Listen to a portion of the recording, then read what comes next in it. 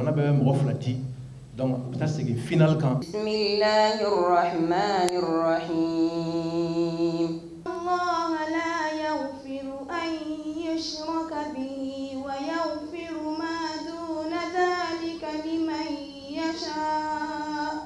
C'est pour magnifier le Coran.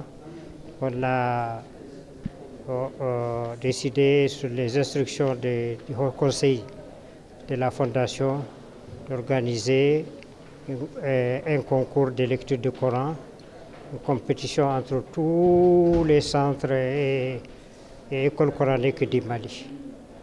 C'est ainsi que le 27 et le 28, euh, euh, près de 100, 100 jeunes, 100 jeunes maliens, filles et garçons, ont compétit pour euh, la lecture du Saint-Coran. Nous avons regroupé les gens en deux groupes. Il y a un groupe qui possède le Coran en entier par cœur et qui connaissent les règles de la lecture et, qui comprennent aussi les sens des mots.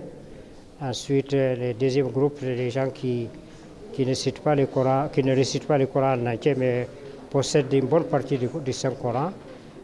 Et on a organisé cette compétition durant deux jours. Et parmi eux, on a choisi donc une dizaine, dont deux sont les, deux premiers qui vont aller compétir au, au mois de Ramadan, Inch'Allah, à, à Rabat, un concours international de, co- de, de lecture du Coran à- au Maroc.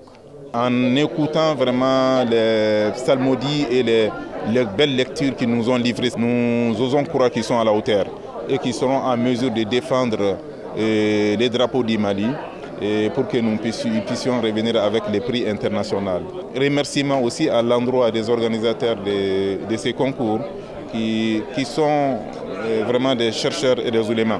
Et les inviter vraiment, c'est-à-dire à pousser les recherches euh, dans les domaines euh, de la paix et de la cohésion sociale au niveau du Mali, parce que nous nous savons capables de cela et de pouvoir vraiment, c'est-à-dire euh, faire des recherches euh, euh, intéressantes et pouvoir divulguer ces résultats à l'échelle nationale, afin que vraiment que la cohésion d'entente et tout ce qui a fait la fierté de notre pays, la cohésion, l'entente, les valeurs telles que les Snanguya et autres puissent être révalorisées et pour que les peuples puissent vraiment, c'est-à-dire se donner la main et savoir que vraiment nous sommes tous condamnés à vivre ensemble malgré notre diversité ethnique et notre diversité culturelle.